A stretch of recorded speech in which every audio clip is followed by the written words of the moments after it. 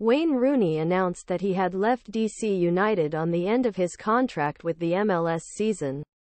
After signing 20 victories against New York on Saturday night, Rooney told journalists that he would not renew his contract at the U.S. capital.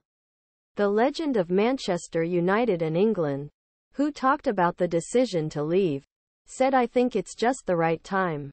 Backquote backquote backquote was not the only thing. And then, what's in front of us? Isn't the opportunities come and come? I saw many reports in the media, Wayne Rooney announced that he had left DC United upon the end of his contract. Rooney took responsibility for the last DC game in 20 victory against New York City District of Columbia United and head coach Wayne Rooney agreed to separate ways.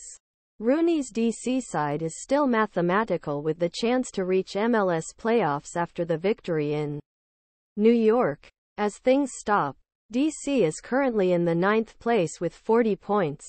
Chicago is currently watching Charlotte 20 in one of the next fixtures on Saturday night and left Frank Klopas' team in 11th place with a goal difference.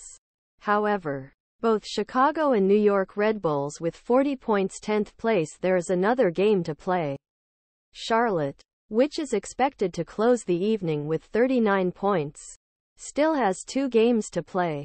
The New York City can also put them in the 13th 38th points in playoff positions. This means that Rooney and DC need four playoff competitors to avoid victory in the last matches of the season. DC later released a club statement that explains that Rooney would leave with mutual consent. CEO and co-chairman Jason Levien Backquote backquote backquote Wayne talked to Wayne and now we have accepted that the best to separate ways. He said, this decision creates way of having the opportunity to give a new philosophy and structure to our next general manager, our sports operations, which begins with the critical definition of head coach that will best align it. Rooney spent more than a year from MLS club after leaving Derby for everything he did to Wayne. Rooney for our club football in the country's capital. First DC we are grateful as a United player and captain our last coach.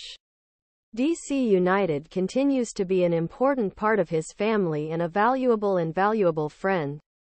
Rooney took the responsibility of DC United in July 2022 after calling for his turbulent task.